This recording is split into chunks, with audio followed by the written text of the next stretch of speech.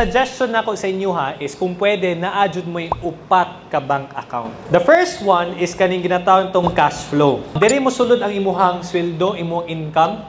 Diri po di mo ang pangbayad sa imuhang essential expenses. Kuryente, tubig, arkila. Ikaduhang account is naa kay emergency. 3 to 6 months worth of your expenses. So kung imuhang expenses kay 10 mil, multiply that by 6, 60,000 dapat ay mo mapundo sa kanang emergency fund. Sir, nahuman na kog buo sa 60 mil. Katong imuhang gina-allocate na kwarta kada bulan sa emergency, pwede na nimo igamit sa laing butang. Pwede nimo idungag sa imong investment or pwede nimo idungag sa imuhang luho. Ikatulong account is what you call investment. And lastly is desires. Ngano kailangan ibahin man. Ang problema manggod kung saksak sinagol tanan, kung isa lang imo account niya maghalo-halo tanan diha, dili ka kabalo kung pila budget imong kwarta para sa emergency, para sa investment o para sa luho.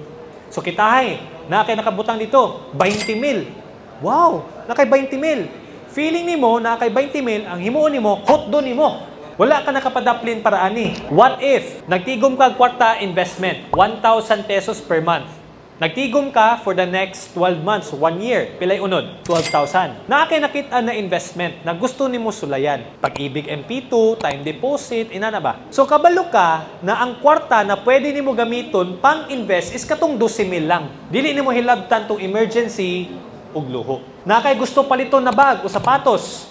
Ang imong natigom na kwarta sa imong desire fund is 3 mil. So kato lang dyan imong pwede gamiton. Nakay nakitaan, tag 4 mil. Kulang man.